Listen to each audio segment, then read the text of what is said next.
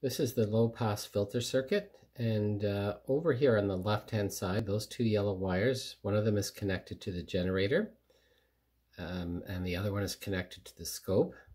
This is the voltage follower so we have it connected before the other op amp. So these are the two 1k resistors.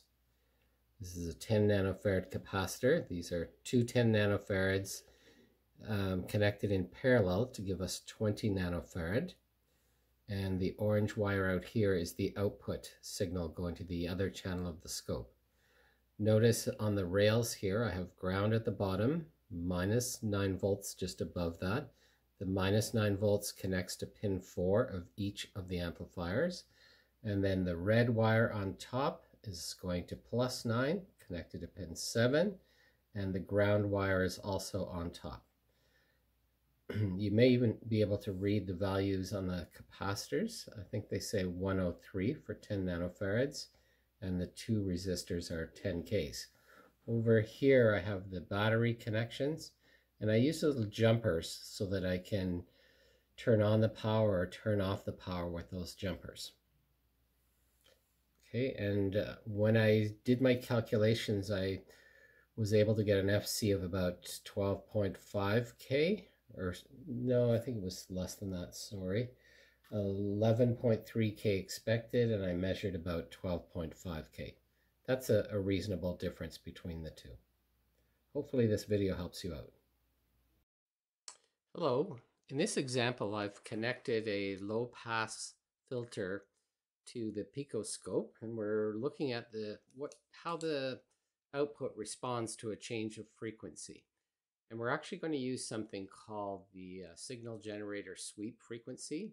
What it allows me to do is sweep upwards from a starting frequency of 5 kilohertz, stop frequency of 20. We're going to increase by 500 hertz every 4 seconds. And that'll allow me to see what happens to the output as that frequency changes. So as you can see right now, my expected critical frequency was about 12 or sorry, 11.3 kilohertz, but I think what you'll see here is a critical frequency of about 12.5. So let's see what happens.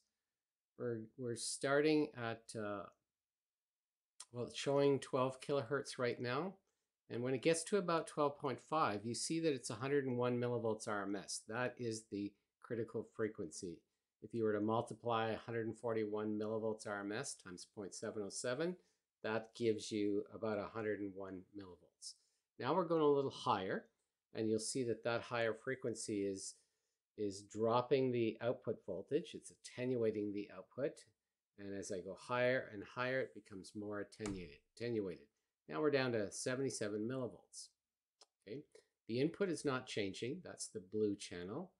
And the output keeps getting smaller and smaller. But we are going to go back to 5 kilohertz and you'll see that the output rises again to about 140 millivolts when we do that. So let's just watch what happens. We're getting higher and higher and the RMS value keeps dropping. Okay, and here we go. It's about to switch back down to 5 kilohertz in 4 seconds. Here we go. Now look what happened to that signal. It's the almost exactly the same value as the input. They're both about 140 millivolts. It's dropping a little bit. And I know that for this circuit, I measured a critical frequency of about 12.5 kilohertz. So we'll just go through this one more time and see what happens at that 12.5 kilohertz. And while we're doing that, notice that the channel A is set to plus or minus 1, B to plus or minus 500.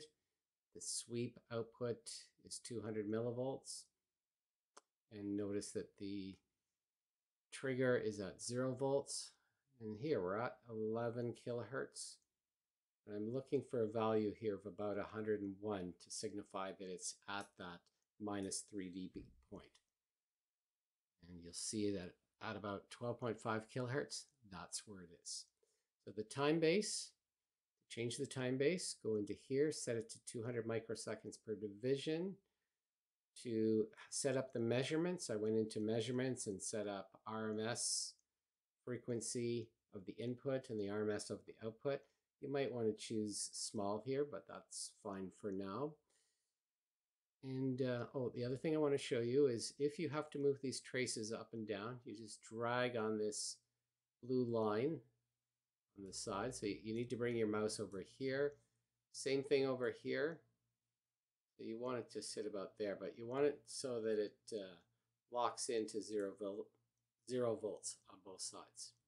The other thing that you can do, if you want to save the setup that I have here, go to Save, and you have to choose not the data file, but the settings file, and you can call it, say, Lab 2 filters.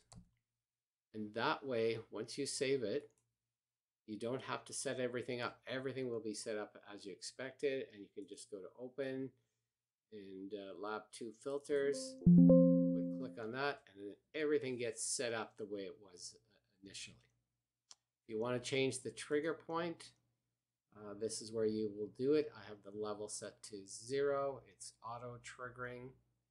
So I hope all of that information helps you out when you actually have to do the